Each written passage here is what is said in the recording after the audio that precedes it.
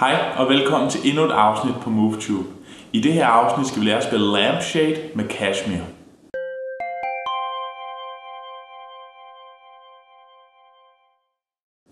Og sådan her lyder den version, som vi skal lære at spille i dag. You'll be surprised if you look through the eyes of another. Not recognizing the molehills on top of the stars. Cheerful and swollen, he waits from the sea in his rover. That is his car. There's no time to think how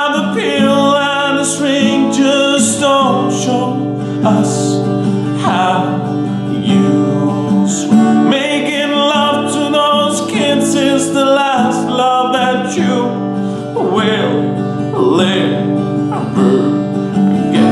You're a vanishing image of what I thought I knew. And that's what you show.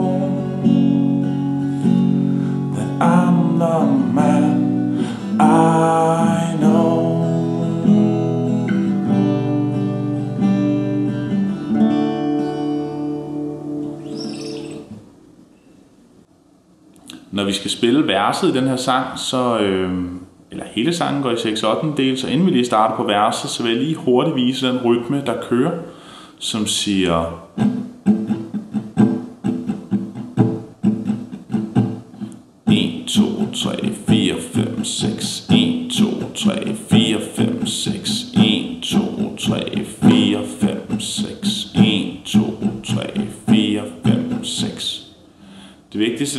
har beatet med, der tæller øh, op til 6. Øh, og det er så der, man ligesom laver sådan en akkordskift på. Det skal også gå efter 3, man gør det efter en halv takt. Men efter en hel takt, der er det efter, man har talt til 6. Og så har man det kraftige nedslag på 1, 2, 3 og på 4, 5, 6. 1, 2, 3, 4, 5, 6. 1, 2, 3, 4, 5, 6. Okay, men lad os gå i gang med, med verset, der starter på en D og kører en hel takt der, så 1, 2, 3, 4, 5, 6 til en B-mol. 1, 2, 3, 4, 5, 6 til en fismol. 1, 2, 3, 4, 5, 6 til en A. 1, 2, 3, 4, 5, 6 så det er første linje, en hel takt på D, dur, en hel takt på B-mol, en hel takt på fismol og en hel takt på A-dur. Så kommer linje nummer 2, der starter med en hel takt på E-mol, til en hel takt på G, til et lille stykke til sidst, der siger en halv takt på B-mol, og en halv takt på B sus 2 til en halv takt på B-mol halv takt på B sus 2. Så den kører to takter hen over det her lille B-mol stykke, skal kalde det det, hvor den bare siger B-mol, B sus 2, B-mol, B sus 2 i halve takter. Så lidt hurtigere siger det.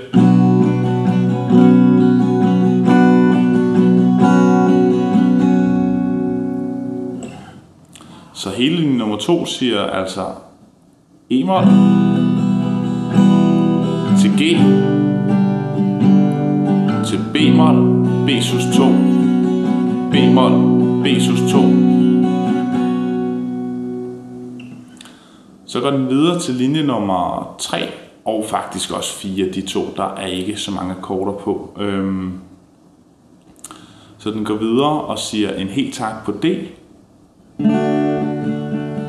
en helt takt på B-mol, ligesom i første linje så to takter på E-dur.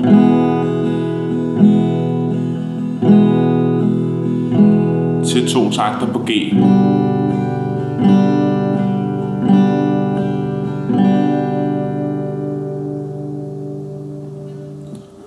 Så lad mig prøve at tage det i, øh, i langsom. Øh, langsom gengivelse og med sangtekst over, så det måske giver lidt kontekst her. Den siger, You'll be surprised if you look through the eyes of an old Not recognizing the molehills on top of the stars.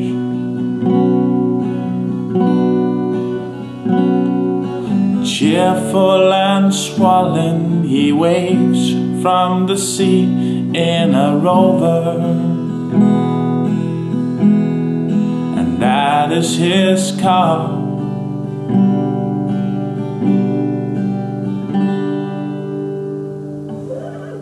Og det er hele verset. Når vi skal spille omkvædet, så bruger vi samme rytme, som vi brugte i verset, øh, og så bare hen over nogle nye akkorder. Og der starter vi med en helt takt på D, til en helt takt på A, til to takter på G.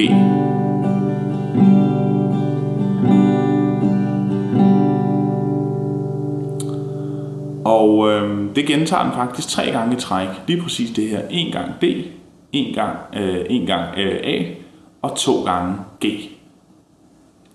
Tre gange i træk. Så det siger D,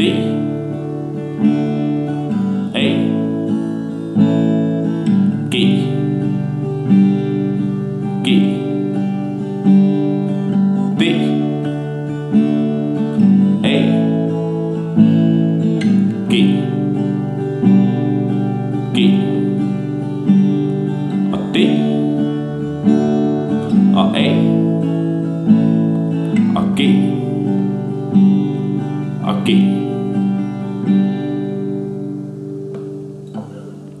Og herefter så går den over til at spille to fulde takter på A.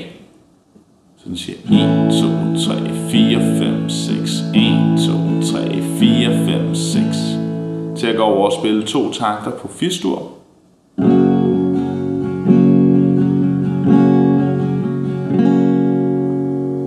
Og så går den ned og spiller en halv takt på B-mol.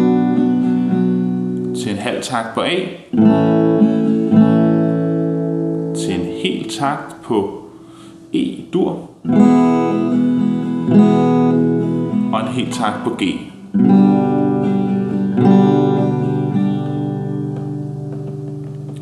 Så det sidste stykke, hvis vi går efter det her D-A-G-G, D-A-G-G og D-A-G-G tre gange i træk, så kommer den ned til at spille en hel takt på, eller to hele takter på A-dur, to hele takter på fismol, nej, fistur, undskyld, fistur, en halv takt på B-mol, en halv takt på A-dur, en hel takt på E-dur og en hel takt på G. Og så er den faktisk færdig med omkvædet. Nu prøver jeg at spille det langsomt, øh,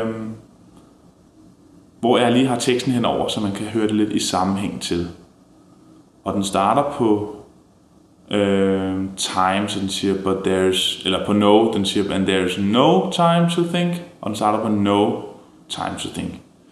There's no time to think, have a pill and a string, just you don't show us how you sweat. Making love to those kids is the last love that you will live.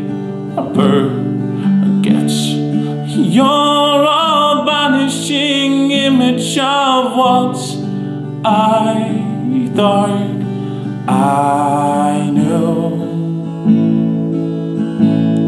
And that's what you show. That I'm the man I